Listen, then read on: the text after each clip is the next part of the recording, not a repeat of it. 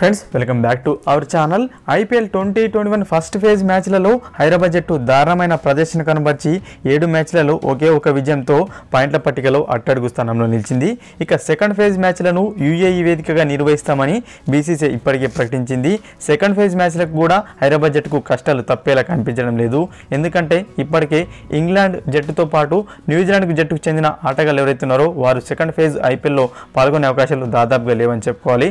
అప్పుడు హైదరాబాద్ జట్టులో కీలక ఆటగాళ్ళుగా ఉన్న కెప్టెన్ కేన్ విలియమ్సన్తో పాటు ఓపెనర్స్ అయిన జసన్ రాయ్ అదేవిధంగా జానీ బెర్స్టోలు సెకండ్ ఫేజ్ ఐపీఎల్ మ్యాచ్లకు సన్ రైజర్స్ తరపున ఆడడం అనుమానమని అని చెప్పుకోవాలి.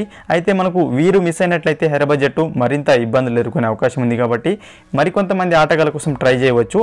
ఆక్షన్లో మనకు ఎవరైతే అమ్ముడుపోయిన ఆటగాళ్ళు ఉన్నారో వారి కోసం ట్రై చేయవచ్చు. అయితే సెకండ్ ఫేజ్ మ్యాచ్లకు ఆస్ట్రేలియాకు చెందిన ఆటగాళ్ళు మాత్రం దాదాపుగా అందుబాటులో ఉండే అవకాశాలు ఉన్నాయి. అప్పుడు వార్నర్ ఖచ్చితంగా ఫేజ్ టూ మ్యాచ్లు ఆడవచ్చు.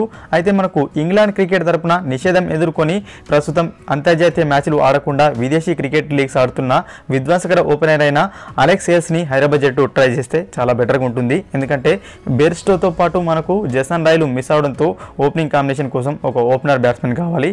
ఇతరైతే కరెక్ట్గా సూట్ అవుతాడు. మనకు ప్రస్తుతం చూసినట్టయితే బీబీఎల్లో సూపర్గా ఆడుతున్నాడు ఇతను ట్వంటీ ట్వంటీ వన్ సీజన్లో చూసినట్టయితే పన్నెండు మ్యాచ్లలోనే నాలుగు వందల పైగా పరుగులు చేశాడు. ఇందులో ఒక భారీ శతకం కూడా ఉందన్నమాట. సో అలెక్స్ ఎల్స్ని హైదరాబాద్ జట్టు ట్రై చేయవచ్చు. ఈ ట్వంటీ ట్వంటీ వన్ వేలంలో పాల్గొన్నప్పటికీ ఇతన్ని ఏ జట్టు కొనుగోలు చేయలేదు. సో ఖచ్చితంగా ఇతన్ని ట్రై చేస్తే మాత్రం బెటర్గా ఉండే అవకాశం ఉంది.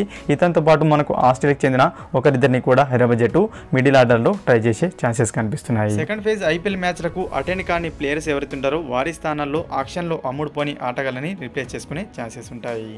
ఫ్రెండ్స్ ఈ వీడియో కనుక నచ్చితే లైక్ చేసి షేర్ చేయండి ఫ్రెండ్స్.